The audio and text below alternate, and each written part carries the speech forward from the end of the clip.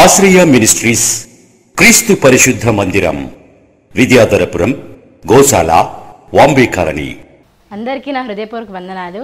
ఆశయ మినిస్ట్రీస్ వారు నిర్వహించు అక్షయాభిషేకం అనే టీవీ ప్రోగ్రాం ద్వారా మీరు బాగా బలపడుతున్నారని శృతిస్తూ నమ్ముచున్నాము. మా నాన్నగారైన ఏ వాసు పాస్టర్ గారు ఈరోజు వాక్ సందేశాన్ని అందించబోతున్నారు. అందరూ శ్రద్ధగా విని దైవదీవెన పొందుకుందాం. దేవుని పరిశుద్ధమైన నామానికి మహిమ ఘనత ప్రభావములు కలుగును గాక. ఈ యొక్క అక్షయాభిషేకం అనే ఆధ్యాత్మిక కార్యక్రమం ద్వారా దేవాతి దేవుడు తన యొక్క జీవపు వాక్కుల చేత మనందరినీ బలపరుస్తూ మరి ప్రత్యేకంగా మిమ్మల్ని దర్శించటానికి ఇచ్చిన దేవుని కృపను బట్టి ఎంతగానో స్థుతిస్తూ ఉన్నాను. ప్రియులారా అందరూ బాగున్నారా? ఆశ్రా మినిస్ట్రీస్ ద్వారా జరుగుతున్న ఈ యొక్క పరిచర్యను బట్టి మీరు ఎంతగానో బలపరుచున్నారని ఎంతగానో మేలు పొందుతున్నారని మీ యొక్క దేవుని కృపను బట్టి ఎంతగానో దేవుని స్థుతిస్తూ ఉన్నాను. చాలా శ్రేష్టకరమైన ఆశీర్వాదములు మన కొరకు దేవుడు దాచి ఉంచారు. అవన్నీ పొందటానికి మనం సిద్ధహస్తులై ఉందాం. కొద్దిగా శ్రద్ధగా మరి ఈ వాక్యమును మీ ముందుకు తీసుకొని వస్తున్న ఆశ్రయ మినిస్ట్రీస్ అనగా సంఘము అలాగే సంఘంలో ఉన్న ప్రతి సభ్యులు దీనికోసం ఎంతగానో ప్రార్థిస్తున్నారు. పిలిచిన మీ అందరి కొరకు వారు ఎంతగానో మొరలు పెడుతూ ఉన్నారు. మరందరిని బట్టి దేవుని స్తుతిస్తూ ఉన్నాను. మరొకసారి మనం ఆలస్యం చేయకుండా పరిశుద్ధ గ్రంథంలోనికి వెళ్ళిపోదాం. చిన్న ప్రార్థన నాతో పాటు ఏకీపించండి తల వంచినట్లా చిన్న ప్రార్థన చేద్దాం. కృపా మహదైశ్వరం కలిగిన మా దేవా మీకు వందనాలు. నీ కృప కలిగిన స్థాల కిందకు వస్తూ ఉన్నాం? తండ్రి నీ బిడ్డలు దర్శించటానికి నీ జీవపు వాక్యం చేత నింపటానికి మాకిచ్చిన ఈ శ్రేష్టకరమైన సమయాన్ని బట్టి నిన్ను స్తుతిస్తూ ఉన్నాను. ప్రభా మీకు వందనాలు. నమ్మదగిన దేవుడవు నమ్మకమైన దేవుడు మరి నీ బిడ్డల పక్షాన మీరు కృప చూపి నమ్మకమైన కార్యాలు జరిగించడానికి మీరు సంసిద్ధులై ఉన్నారని నమ్మి స్తుతిస్తూ ఉన్నాను. ప్రభా అయా ఈ టీవీ ముందు కూర్చున్న వారందరి హృదయాలు నీ దృష్టికి ఆమోదయోగ్యంగాను ప్రభా సిద్ధ హృదయముగాను మీరు మలసి వారి కొరకు మీరు సిద్ధపరిచిన ప్రతి ఆశీర్వాదాలు బిడ్డలు స్వతంత్రించుకున్నట్టుగా సహాయము చేయమని నజరేడన యేసుక్రీస్తు నామంలో ప్రార్థించి అడిగి వేడుకొంచున్నాము నమ్మదగిన తండ్రి. ఆమెన్. ప్రియులరా ప్రభు యేసుక్రీస్తు నామంలో మీ అందరికీ శుభములు ఆశీర్వాదములు కలుగునుగాక. మనం ఆలస్యం చేయకుండా దేవుని పరిశుద్ధ వాక్యంలోనికి వెళ్దాం. యేసు ప్రభు వారు చెప్పిన అత్యంతమైన శ్రేష్టకరమైన ఉపమానాలు ఎన్నో ఉన్నాయి. వాటిలో చాలా ప్రాముఖ్యమైనది. యేసుప్రభు చెప్పిన ఉపమానం. మత్తేసు వార్త ఇరవై ఐదవ అధ్యాయము పద్నాలుగో వచ్చినాన్ని ఒకసారి మనం చదువుకుందాం. పరలోక రాజ్యము ఒక మనుష్యుడు దేశాంతరము ప్రయాణమై తన దాసులను పిలిచి తన ఆస్తిని వారికి అప్పగించినట్లుండును. ప్రియులారా ఇక్కడ యేసుప్రభు చెప్పిన ఉపమానాల్లో శ్రేష్టకరమైన ఉపమానము అన్నీ శ్రేష్టమైనవే అన్ని రత్నముల వంటివే. అయితే యేసుప్రభారు ఉపమాన రీతిగా చెప్పటానికి చాలా ప్రాముఖ్యత ఏమిటి అంటే ఆయన ప్రతి వ్యక్తికి అర్థమయ్యే రీతిలో అర్థవంతంగా వారి హృదయములకు చొచ్చుకుపోవున్నట్టుగా ప్రతి స్పష్టంగా దేవుడు మాట్లాడాలని ఆశపడుతున్నారు. అందుకే ఈ ఉపమాన రీతిలో ప్రభు చెప్తున్న ప్రతి మర్మము ఆయన యొక్క హృదయాంతరంగంలో ఉద్దేశాన్ని చాలా స్పష్టంగా తెలియచేస్తూ ఉన్నారు. ఇక్కడ ఈ ఉపమానంలో యేసుప్రవారు చెప్పిన ప్రాముఖ్యత చాలాసార్లు మనం విండి ఉండొచ్చు. చాలాసార్లు చదివి ఉండొచ్చు. కానీ పరిశుద్ధాత్మ దేవుడు ఈ క్షణమున నా హృదయంలో పెట్టిన తలంపును మీతో పంచుకోవటానికి ఇష్టపడుతూ ఉన్నాను. మీరు కూడా ఒక ప్రత్యేకమైన కోణంలో దేవుడు మనతో మాట్లాడే మాటను శ్రద్ధగా విందాం.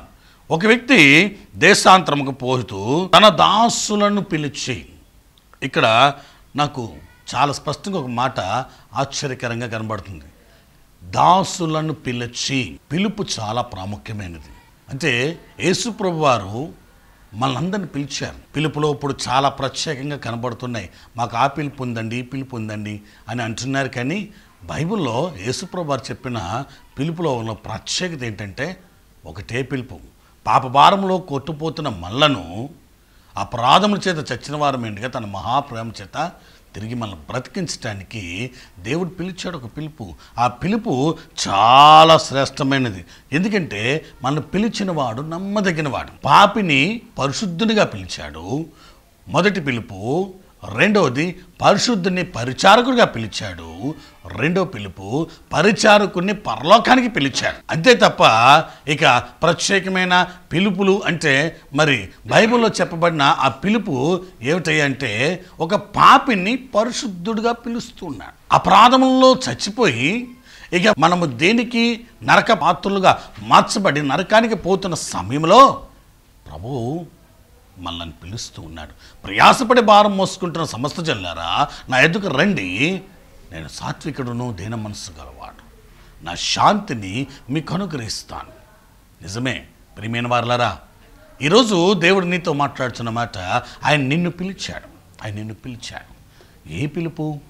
ఆయన ఒక ప్రాముఖ్యతతో ఇక్కడ ఆ మనుష్యుడు ఆ మనుషుడు దేశాంతరము పోయి ఒక పిలిపిచ్చాడు. అపోస్తులైన శిష్యులకి ఒక మాట చెప్పాడు.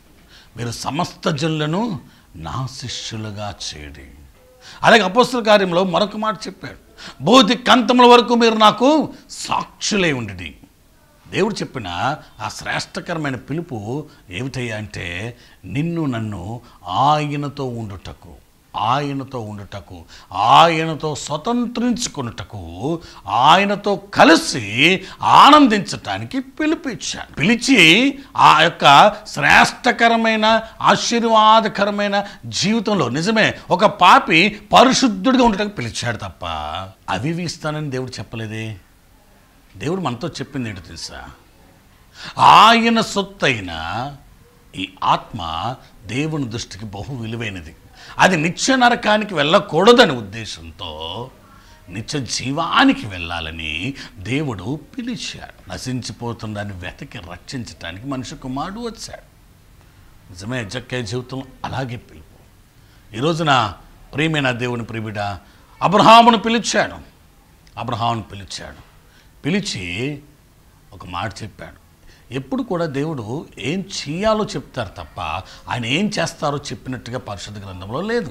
ఎందుకంటే తాను పిలిచిన వాడు మనం పిలిచిన వాడు నమ్మదగిన వాడు. ఎందుకు నమ్మదగిన వాడంటే మన బాధ్యతను మనకున్న ప్రతి స్థితిని ఆయన మోసి మనకు శ్రేష్టకరమైన జీవితాన్ని ఇవ్వాలని ఆశపడుతున్నాడు. అందుకే సాతాను వశంలో ఉన్న మన జీవితాల్ని పరలోకపు వశము చేయటానికి పరిశుద్ధమైన పిలుపులోనికి మనల్ని పిలిచాడు. అందుకే ప్రయాసపడి భారం మోసుకున్న సమస్త జనులారా కొంతమందికే కాదు ఈ సువార్త భూమి మీద ఉన్న ప్రతి ఒక్కరికి. అందుకే దైవజనులు దైవ సేవకులు సువార్థికులు అనేక స్థలాలకు వెళ్ళి ఆ సువార్తను ప్రకటిస్తూ ఇదిగో ఏసయ పిలుపును వినండి రండి మన వివాదం తీర్చుకుందాము. యష్యా భక్తుడు చెప్తూ ఉన్నాడు. నిజమే. ఈరోజు నీ జీవితంలో నీ జీవితంలో ఏ స్థితి ఉన్నా ఎలాంటి స్థితి ఉన్నా పిలిచినవాడు నమ్మదగినవాడు శ్రేష్టకరమైన జీవితాన్ని నీ జీవితంలో అనుగ్రహించడానికి ఆయన సిద్ధంగా ఉండి పిలుస్తూ ఉన్నాడు. చూడండి మరొకసారి ఆ వచనాన్ని చదువుకుందాం. అదే వచనాన్ని మరొకసారి చదువుకుందాం. ఒక మనుష్యుడు దేశాంతరమునకు ప్రయాణమై తన దాసులను పిలిచి తన ఆస్తిని వారికి అప్పగించినట్లుండును. అతడు ఒకనికి ఐదు తలాంతులను ఒకనికి రెండు ఒకనికి ఒకటియు.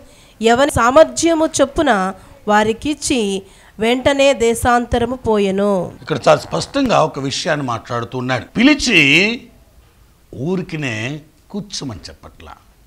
ప్రియమైన దేవుని ప్రిమిడ ప్రియ స్నేహితుడా ప్రియమైన చెల్లి ప్రియ తల్లి ఈరోజు నా ప్రభు పిలిచాడు కదా అని పిలిచి నీకేది కావాలి? నేను ఇస్తాను అని దేవుడు ఇక్కడ చెప్పట్లేదు కానీ నీ జీవితంలో ఏది ప్రాముఖ్యతో అది చేయటానికి తన ఆస్తిని ఇచ్చాడండి చాలా స్పష్టంగా మనం అర్థం చేసుకుందామా? మొదటిది ఆయన పిలిచాడు ఆ పిలిచిన పిలుపు దేనికై అంటే ఉన్నతమైన స్థితిలో నీ జీవితం ఉండాలని ఉన్నతమైన ప్రమాణంలో నీ జీవితం బ్రతకాలని ఉన్నతమైన నీ జీవితంలో ఉన్నతమైన స్థానంలో నీవు నిలబడాలని ఆ ఉన్నతమైన స్థానంలోంచి అనేకులకు మేలుకరంగా నువ్వు మలచబడాలని ఆయన పిలిచారు. పిలిచి ఏదో పిలిచారు కదా అని ఊరుకోలే. ఆయన ప్రాముఖ్యత ఏమిచ్చారంటే ఆయన ఆస్తినిచ్చాడంట.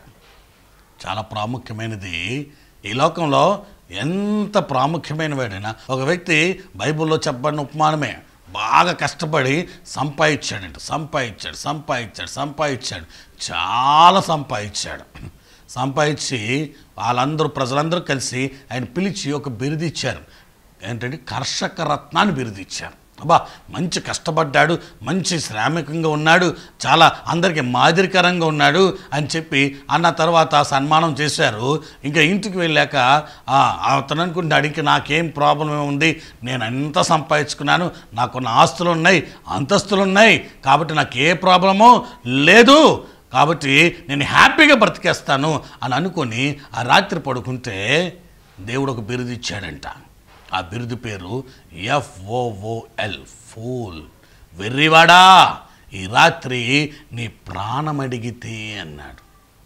అప్పుడు అతను సంపాదించిన ఆస్తి తన ప్రాణాన్ని కాపాడలేదు. తను సంపాదించింది ఏది కూడా తన ప్రాణాన్ని కాపాడలేదు.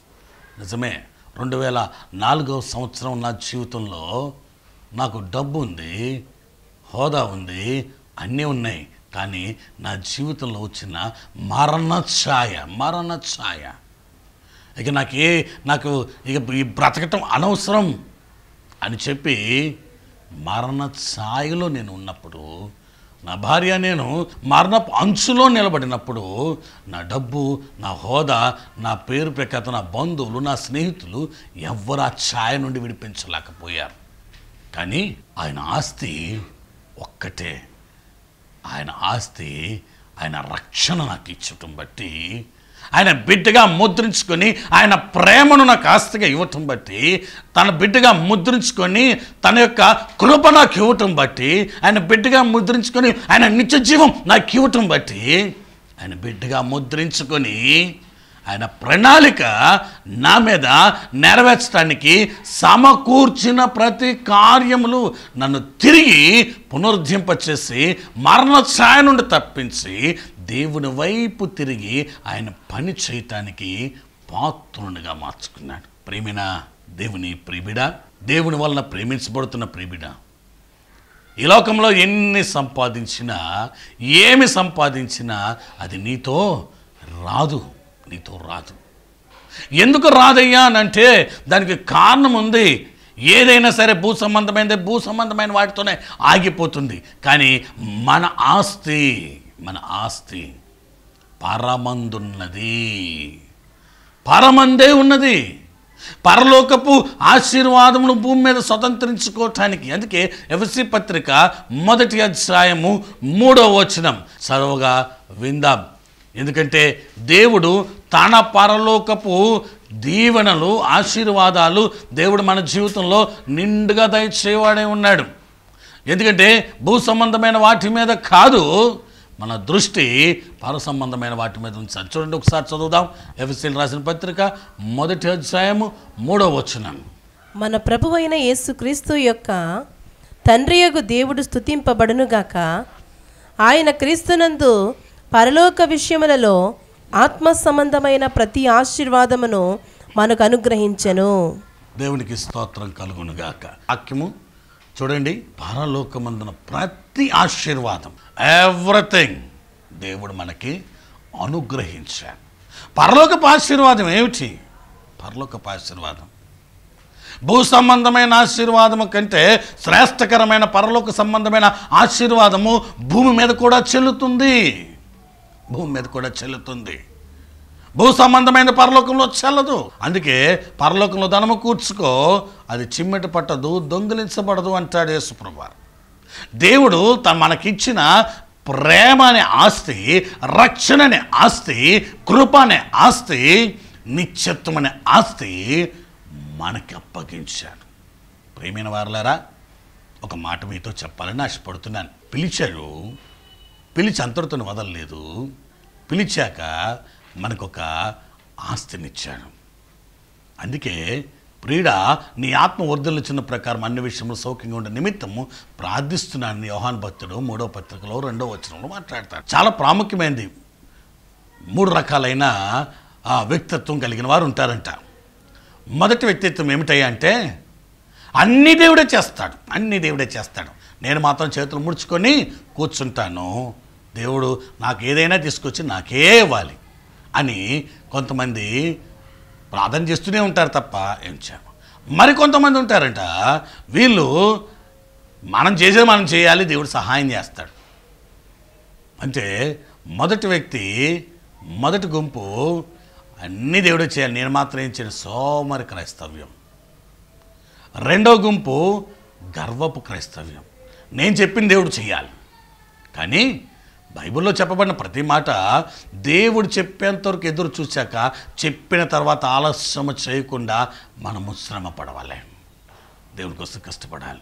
అలాగే ఇక్కడ ఆస్తినిచ్చాడు. ఆస్తినిచ్చాడు. ఆత్మనిచ్చాడు. రక్షణనిచ్చాడు. ఈ మూడు రకాలైన ఆ వ్యక్తిత్వం కలిగిన మనుషులు ఇక్కడ కనబడుతూ ఉన్నారు. పిలిచి ఒక్కొక్కరికి ఒక్కొక్కరికి ఆస్తినిచ్చాడంట ఆస్తినిచ్చాడు. ఆస్తినిచ్చాక వెళ్ళిపోతూ వెళ్ళిపోతూ ఒక మాట చెప్పారు. నేను లెక్క అడుగుతాను నేను లెక్క అడుగుతాను నేను లెక్క అడుగుతాను. నిజమే. ప్రేమైన వారులారా ఆస్తినిచ్చిన వాడు లెక్క కూడా ఉంటుంది. చూడండి ఎందుకు లెక్క అడుగుతున్నాడు అంటే పదిహేను వచ్చిన ఒకసారి మనం చదువుకుందాం. అతడు ఒకనికి ఐదు తలాంతులను ఒకనికి రెండు ఒకనికి ఒకటియు ఎవని సామర్థ్యము చొప్పున వానికిచ్చి వెంటనే దేశాంతరము పోయెను. ప్రియమైన వారులరా ఇక్కడ ప్రభు వాడుతున్న మరొక పదం సామర్థ్యము క్యాపబిలిటీ ప్రేమైన వారులరా ఇక్కడ చాలా స్పష్టంగా ఒక పదాన్ని వాడుతూ ఉన్నాడు. ఏమిటా పదం అంటే ఎవని సామర్థ్యం దేవుడు తన కృప చేత మన జీవితం అన్నీ ఇచ్చారు. ఆయన రక్షణ ఇచ్చారు. ఆయన ఆజ్ఞను మనకిచ్చారు.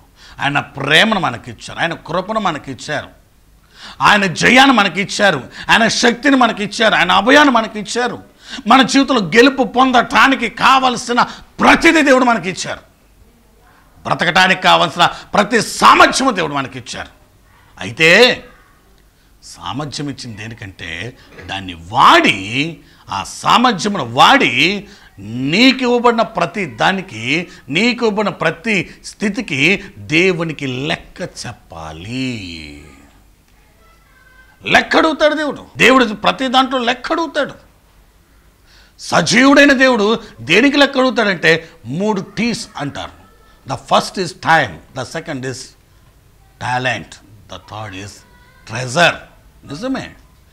ప్రేమైన వారులరా ఈ సమయంలో నువ్వు చూస్తున్న దేవుని యొక్క వాక్యము నీ హృదయంలో చెప్పబడుతుంది.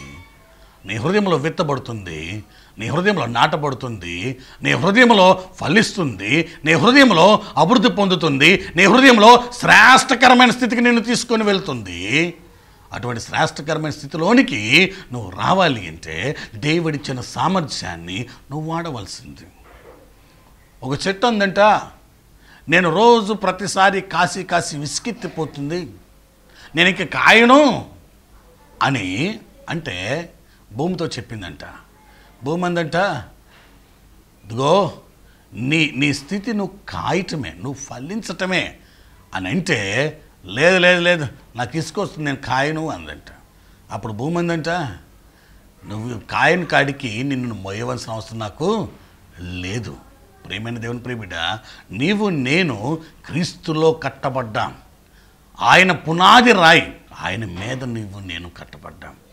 ఇప్పుడు ప్రభు ఇచ్చిన కృపను సామర్థ్యాన్ని నువ్వు వాడుతున్నప్పుడే నీ జీవితంలో మేలు కలుగుతుంది. ఆ సామర్థ్యాన్ని నీవు దేవుని దగ్గర ప్రయాసపడినప్పుడే కష్టపడినప్పుడే దానికి రెట్టింపు ఘనత దేవుడు నీ జీవితంలో అనుగ్రహిస్తాడు. నాకెందుకులే నాకెందుకులే నాకెందుకులే అనుకుంటున్నావు నువ్వు? నాకంటే బాగా చేసావు నాకంటే బాగా చదివావు నాకంటే నేనెందుకు? నా పనులు నాకు చాలా ఉన్నాయి నేను ఏం చేయాల్సిన అవసరం లేదు. ఒక్కసారి అల్లు స్థుతి మహిమ అనుకుంటే సరిపోతుంది అని అనుకుంటున్నావేమో? ప్రియా ప్రేమైన దేవుని వాళ్ళను ప్రేమించబడిన ప్రేమిడా ప్రియ స్నేహితుడా ప్రేమైన తల్లి ప్రేమైన చెల్లి ఈ వేళలో దేవుడు నీతో మాట్లాడుతున్న మాట ఆత్మ చెప్పుచున్నమాట చెవుగలవాడు వినుగాక లెక్క అడిగే రోజు అతి సమీపంగా ఉంది. లెక్క అడిగే రోజు సమీపంగా ఉంది. ఆ రోజు రానే వచ్చింది. లెక్క అడిగే రోజు రానే వచ్చింది. ఎవరి సామర్థ్యం చొప్పున వాళ్ళు పని చేయటం మొదలుపెట్టారు. ఎవరి సామర్థ్యం చొప్పున వాళ్ళు వాళ్ళకి ఇవ్వడిన కృపను వాడటం మొదలుపెట్టారు. ఒకరోజు దేశాంతరం పోయినవాడు తిరిగి వచ్చి లెక్కడుగుతున్నాడు లెక్కడుగుతున్నాడు. అందుకు మొదటివాడు వచ్చి అడుగుతున్నాడు చెప్తున్నాడు అయ్యా అయ్యా నేను లెక్క చూసుకున్నాను నాకు నువ్వు ఇచ్చిన దానికి నూరొంతులు కష్టపడ్డానయ్యా అన్నాడు. ఎంత తెచ్చావు? ఐదు తలాంతులు ఇచ్చారు. ఐదు తలాంతులు మరీ ఐదు తలాంతులు తెచ్చాను అన్నాడు. రెండో వాడిని పిలిచాడు. అయ్యా నేను నూరొంతులు కష్టపడ్డానయ్యా. నువ్వు రెండు ఇస్తే నేను రెండు తెచ్చాను. అయితే ఒకడు వచ్చాడంట. వాడు అంటున్నాడు నీ సంగతి నాకు తెలుసు.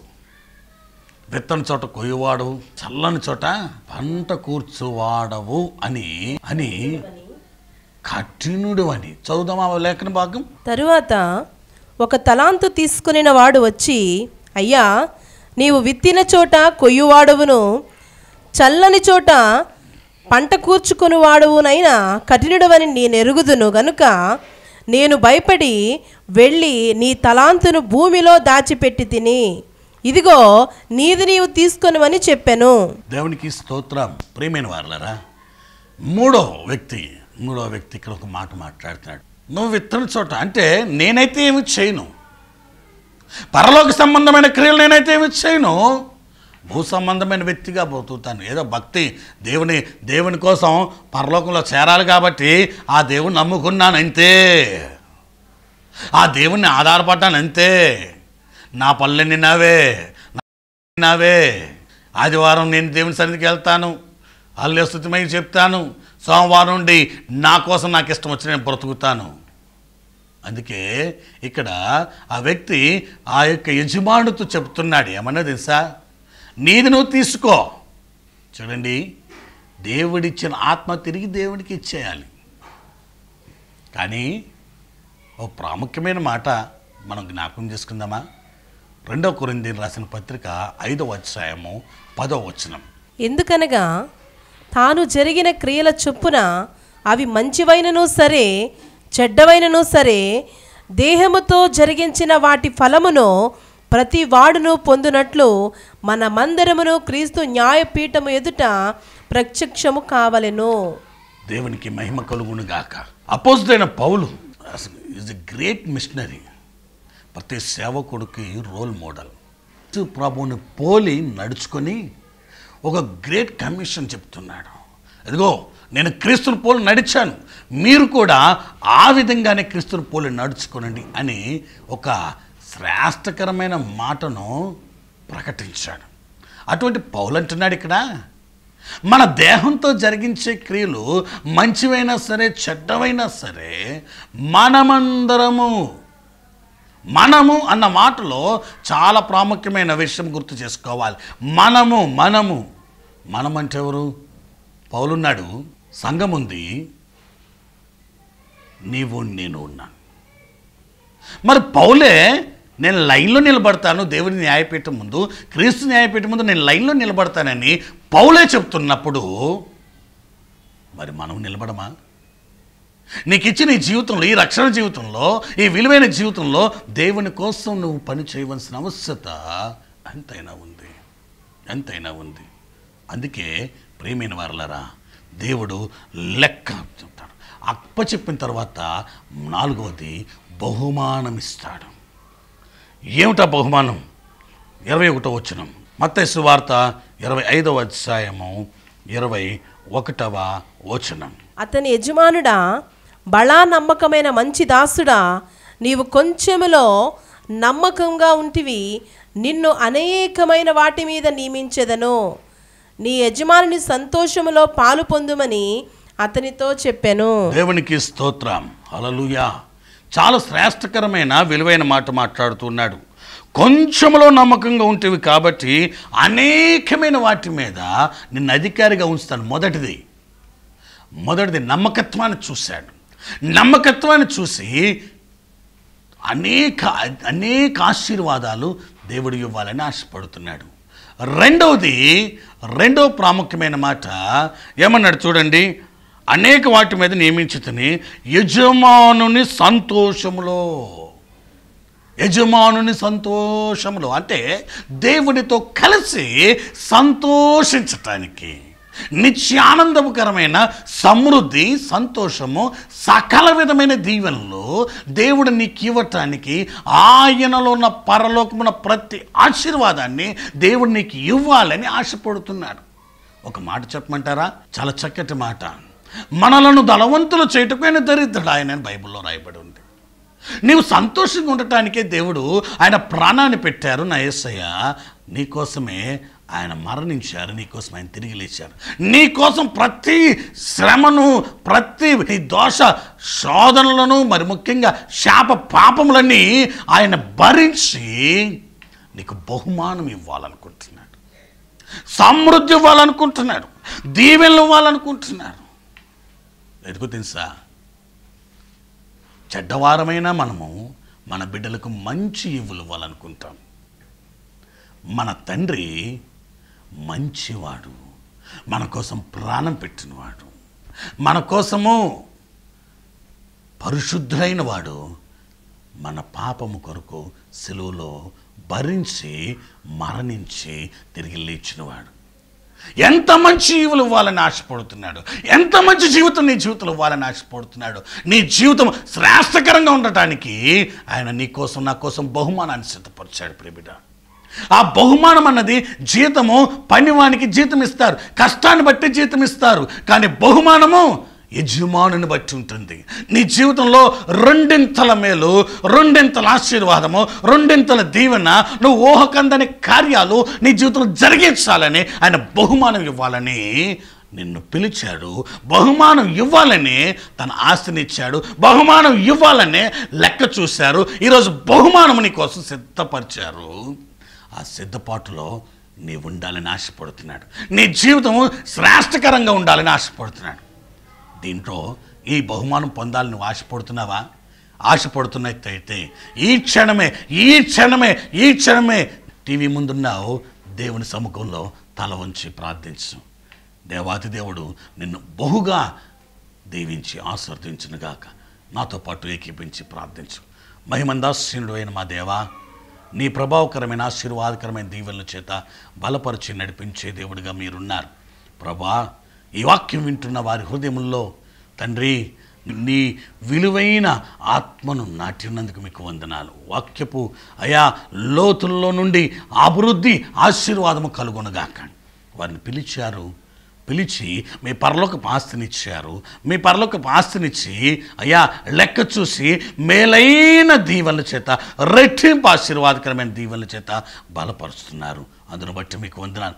ఎవరైతే కృంగి ఉన్నారో ఎవరైతే బలహీనంగా ఉన్నారో ఎవరైతే నా ప్రభా మా జీవితంలో ఏ మేలు రావట్లేదని ఈ క్షణమున అయ్యా వారి హృదయం కలవరంతో నిండి ఉన్నదో వారందరి పక్షమున నీ సన్నిధిలో ప్రార్థిస్తున్నాను. వారి కలవరము వారి యొక్క కృంగుబాటు వారి జీవితంలో ఉన్న ప్రతి వ్యాధి లేమి శోధన ఏసు కృష్ణంలో ఎత్తి సముద్రంలో పారవేయబడును గాకని ప్రార్థిస్తున్నాను నూతనమైన ఆశీర్వాదకరమైన దీవెనలు వారి జీవితంలో కలుగును గాకని ప్రార్థిస్తున్నాను.